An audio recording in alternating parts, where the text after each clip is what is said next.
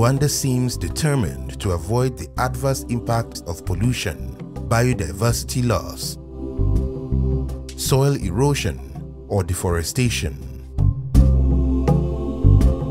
However, following a greener development path remains a great challenge that will require huge investments to green all different sectors. In 2012, Rwanda created FONERWA, a national climate and environment fund to finance the shift to a green economy.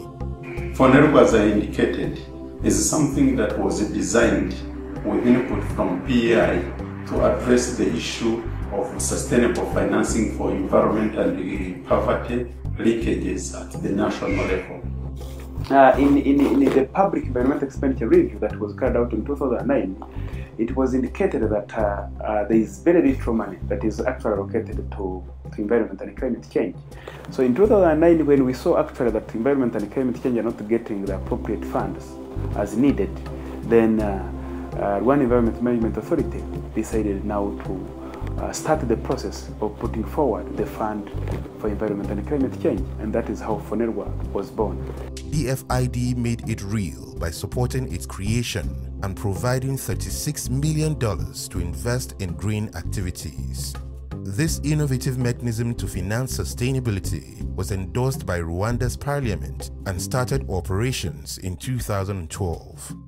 FONERWA improves coordination and effectiveness among donors and national government to promote a sustainable future for Rwanda.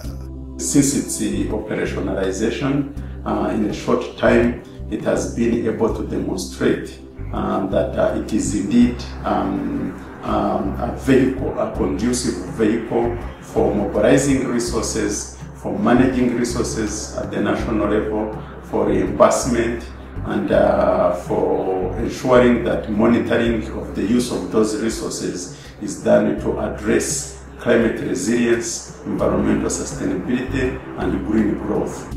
Investments will include projects such as renewable energy, biodiversity conservation, ecosystems rehabilitation, energy efficiency, sustainable land management, integrated water resources management, sustainable forestry, responsible mining, pollution management, or studies to support sustainable management of resources.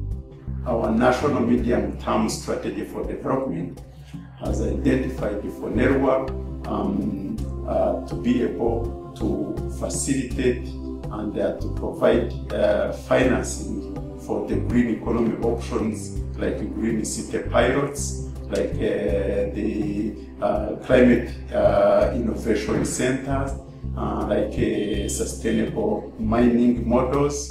Um, all these are interesting ways in which FONERWA is going to support green economy and uh, lead to that have the potential to lead to economic transformation uh, of our country.